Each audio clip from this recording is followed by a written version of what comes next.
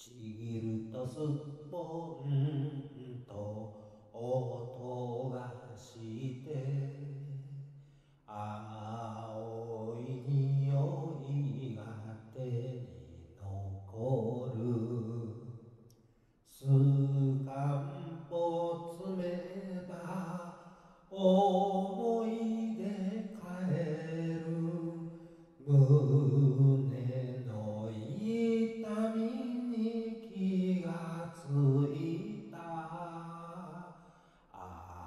れはおいらのあれはおいらの塾の春さ。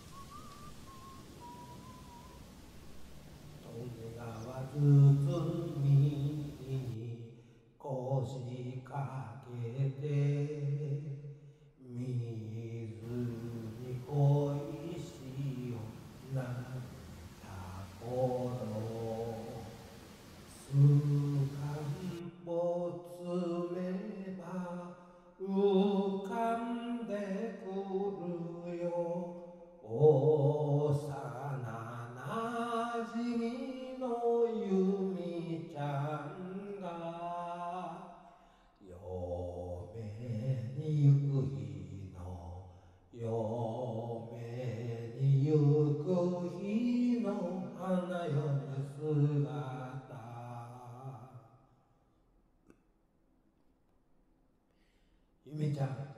覚えてるかい？いつも二人きりで待ち合わせてさ春の歌を歌ったあの河原道のこと。いつかゆみちゃんが急に私を引っ越したくなっちゃっちゃって言ってさ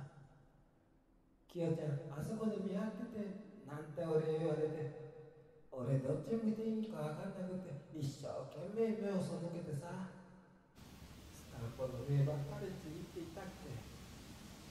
見上げた空には白いちぎれ雲がどっかり浮かんでてまだまだ水のきれいなふるさとなんだよね。